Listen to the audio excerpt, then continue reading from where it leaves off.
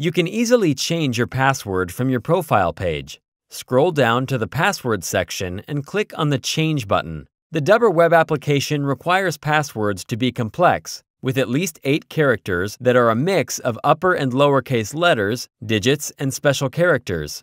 Once you have entered and confirmed your new password, you will also need to enter your current password. Click on the Change Password button to save these changes.